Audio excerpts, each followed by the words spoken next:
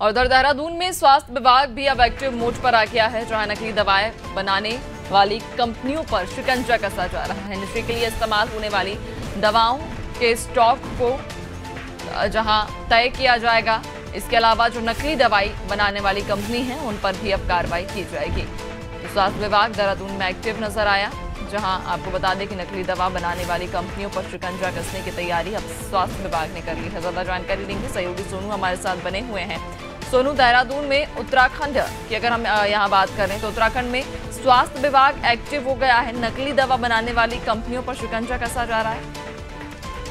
जिसका आप ज़िक्र कर रहे हैं, ये खबर वाकई अपने आप में महत्वपूर्ण है। क्योंकि उत्तराखंड सरकार लगातार इस बात को कह रही है पुरजोर तरीके से कि 2025 तक उत्तराखंड देवभूमि, उत्तराखंड को नशा मुक्त करना है। और इसके लिए पहले भी अभियान चलाए जाते रहे हैं और अब एक बार फिर चूँकि मुख्यमंत्री ने पहले भी विभागीय अधिकारी को दिशा निर्देश दिए हैं और उत्तराखंड स्वास्थ्य विभाग के जो सचिव है, उन्होंने कमान संभाल ली है और विभाग के अधिकारी जो हैं, वो अलर्ट मोड पर नज़र आ रहे हैं और जो क्योंकि उत्तराखंड फार्मा के लिहाज से उत्तराखंड और उत्तराखंड की राजधानी जो फार्मा के लिहाज से हब माना जाता है और तमाम कंपनियाँ यहाँ पर अपनी दवाइयों का उत्पादन करती तो ऐसे में कुछ ऐसी दवाई कंपनियाँ भी हैं जिनके सैंपल लिए गए थे और वो सैंपल जो है, वो ठीक सामने नहीं आए। तो कहीं ना कहीं वो ऐसे में ऐसी कंपनियों पर शिकंजा कसा भी जा रहा है और पिछले साल भी कहीं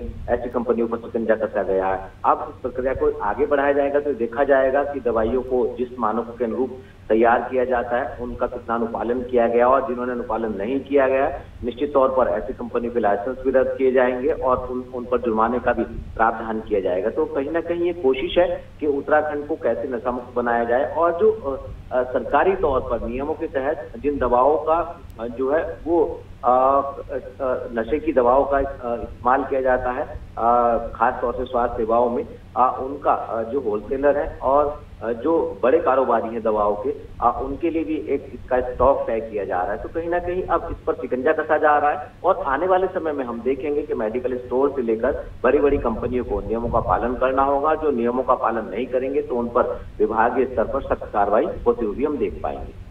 बिल्कुल, यानी कि ये कह सकते हैं कि जो भी नियम का पालन नहीं करेगा, उसके खिलाफ सख्त कार्रवाई की जाएगी और जितने भी जो कंपनियाँ हैं, नकली दवाई बना रही हैं, अवैध तरीके से संचालित हो रही हैं, उन पर भी शिकंजा कसा जाएगा। बहुत शुक्रिया आपका जानकारी साझा करने के लिए।